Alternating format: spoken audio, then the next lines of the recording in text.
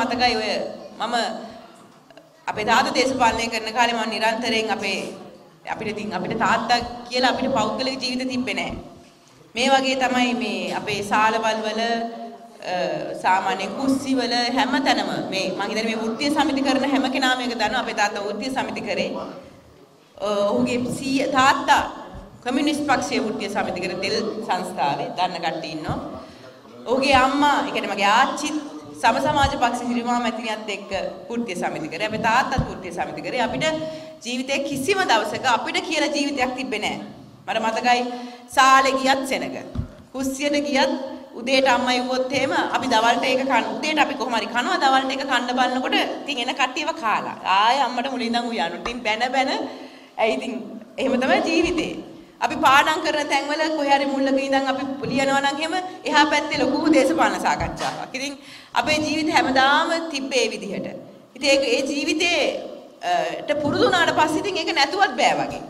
ඉතින් ඒ වගේ කාලයක තිස්සේ ඉඳන් පොඩි කාලේ ඉඳන් මේවා දැකලා දැකලා දැකලා ඉතින් අපි දන්නවා මේ වැඩේට බැස්සොත් මේ මේ මේ ගමන පටන් ගත්තොත් මේක ජීවිතේ පැය 24ම මේ වැඩේ කරන්න ඕනේ.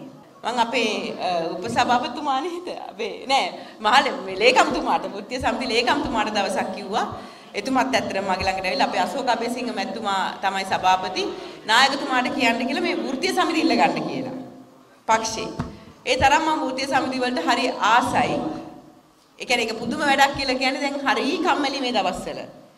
ඒ කියන්නේ පාරේ අවුවේ කෑ ගහලා කෑ ගහලා ජනාධිපතිවරුන්ගේ ගෙවල් වලට අගමැතිවරුන්ගේ ගෙවල් වලට ගිහිල්ලා පොලිසියත් එක්ක රණ්ඩු වෙලා දැන් හරි කම්මැලි ගෙදරට වෙලා ඉන්න.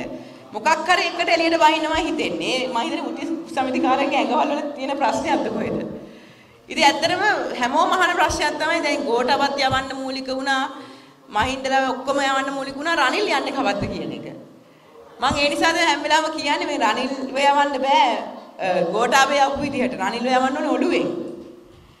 ඒකනේ ගෝඨාභය පාවිච්චි කරපු නැති සියලුම කුමන්ත්‍රණ සහ ඒ ක්‍රියාමාර්ග සහ නීති සියල්ලම රනිල් රාජපක්ෂ විසින් දැන් ක්‍රියාත්මක කරනවා. ඉස්සර අපි එළියට බහිනකොට අපි හිතුවා ගෝඨාභය තමයි මේ අපිව කවදාරි දවසක මර්ධනය කල්ලිවල හිරේ දාන්න කියලා.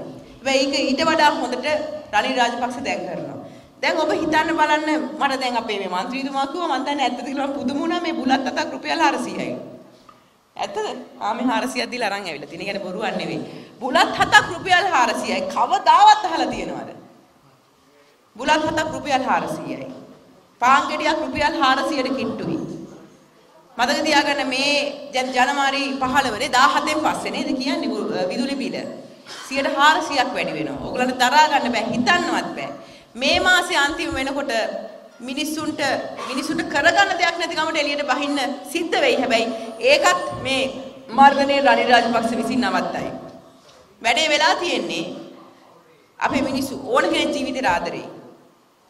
ඕන කෙනෙක් බයයි එළියට බහින්න මොකද මර්ධනය කියන එකේ කවුද කැමති පෑ ගණන් රස්තියාදු වෙන්න උසාවි ගානේ රස්තියාදු වෙන්න ඉරේ විලංගුවේ වැටෙන්න හැම කවුරුත් කැමති නෑ. ඉතින් ඇත්තටම ඔය බය නිසා තමයි මිනිස්සු මේ දරාගෙන ඉන්නේ. මිනිස්සු මේ දරාගෙන ඉන්නේ ඔය බය නිසා. හැබැයි ඇත්තටම මේක පිපිරෙන අවස්ථාවක් එනවා. මේ ජනවාරි 3 3 වෙනි සතියෙන් පස්සේ මෙහෙම දිගටම අපිට මුහුණ දෙන්න වෙන මේ ආර්ථික ප්‍රශ්නත් එක්ක ජනතාව මං හිතන්නේ කටවහන් ඉදී කියලා. හැබැයි ජනතාව ඉල්ලන්නේ අඩුම ගානේ තමුන්ගේ තරහ එළියට දාන්න බෝඩ් එකක් අල්ලන්වත් එළියේ ඉන්න බැරි නම් අඩුම ගානේ තමුන්ගේ තරහ පෙන්වන්න තමුන්ගේ තියෙන පීඩනය පෙන්වන්න මැතිවරණයක් හරි. ඒකත් පුළුවන් තරමක් උත්සාහ කරලා නවත්තන්න උත්සාහ කරා. හැබැයි එක පැත්තකින් අපි සතුටු වෙනවා මැතිවරණ කොමිසම මේ වෙලාවේ කෙලින් ඉන්න එක ගැන. ඒ කෙලින් ඉන්නේ ඔවුන් දන්නවා මේ තමයි මේ වෙලාවේ මේ වැරදි වැඩක් වෙන්නේ කියන එක. ඒ වගේම තමයි ඔවුන් දන්නවා මේ වගේ මේ හෙල්ලෙන ආණ්ඩු වැඩිකල් තියෙන්නේ නැහැ කියන එක. ඒ නිසා තමයි ඒගොල්ලෝ කෙලින් ඉන්නේ. දැන් මේ සැරේ බලන්න මැතිවරණ කොමිසම කෙලින් ඉන්නවා.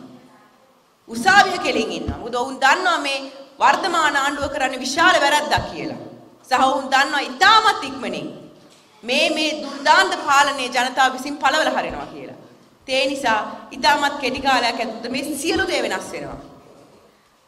මේ සියලු දේ වෙනස් වෙනවා.